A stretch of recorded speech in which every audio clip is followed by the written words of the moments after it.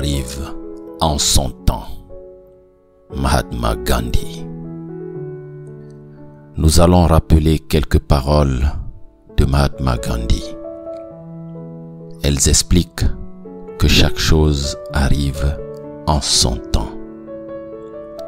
Ces réflexions nous conduisent à penser à l'acceptation de notre réalité. Toi et toi seul peux choisir la manière avec laquelle tu vas toucher le cœur des autres. Ces décisions sont celles qui se prennent dans la vie. Sois ferme dans tes attitudes et persévérant dans ton idéal. Mais sois patient, sans prétendre à ce que tout arrive l'immédiat. Fais tout au moment où tu dois le faire, et tout ce qui est à toi viendra dans tes mains au moment opportun. Apprends à attendre le moment exact pour recevoir les bénéfices que tu réclames. Attends avec patience que les fruits mûrissent apprécier leur saveur. Ne sois pas esclave du passé et des souvenirs tristes. Ne remue pas une plaie qui est cicatrisée. Ne te remémore pas les douleurs et souffrances anciennes. Ce qui est passé est passé. À partir de maintenant, investis-toi à construire une vie nouvelle, orientée vers l'élévation. Marche vers l'avant sans te retourner. Fais comme le soleil qui naît chaque jour sans se rappeler de la nuit qui s'est écoulée. Contemple le but visé sans te focaliser sur les difficultés pour l'atteindre. Ne t'enferme pas dans le mal que tu as fait, chemine vers le bien que tu peux faire. Ne te culpabilise pas pour ce que tu as fait. Au contraire, décide-toi à changer.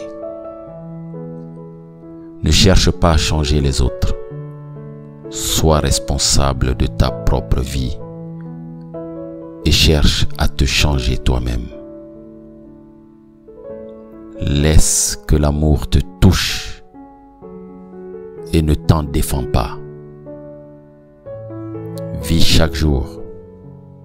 Profite du passé en bien et laisse que le futur arrive en son temps.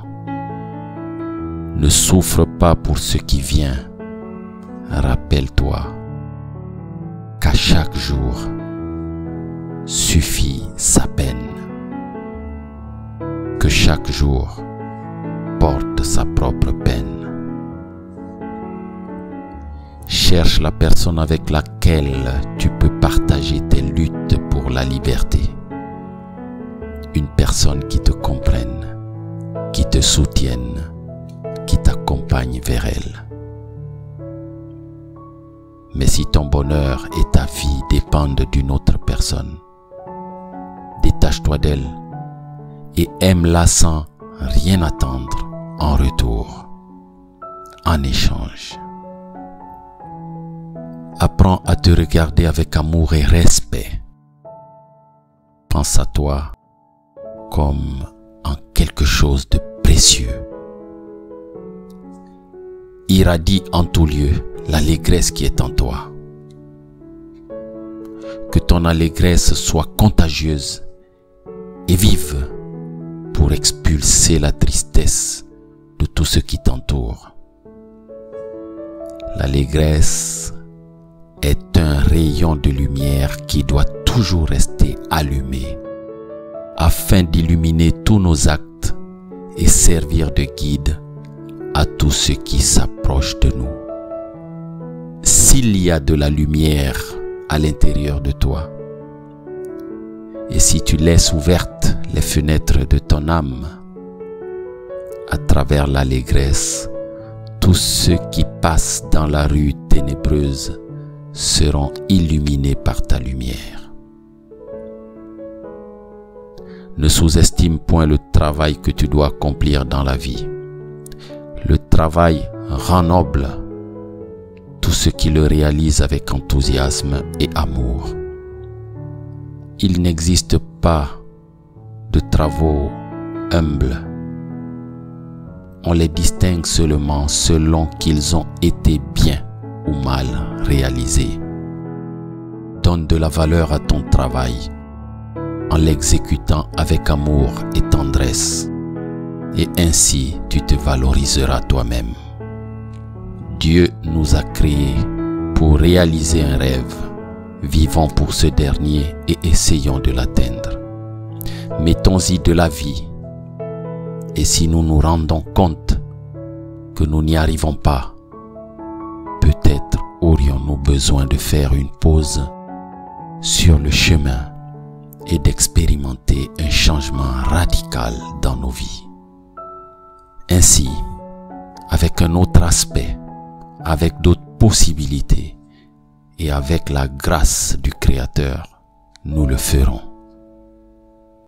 Ne te laisse pas pour vaincu.